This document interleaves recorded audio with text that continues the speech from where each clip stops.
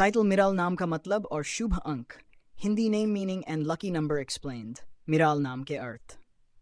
नमस्कार दोस्तों आज हम बात करेंगे एक खास हिंदी नाम के बारे में मिराल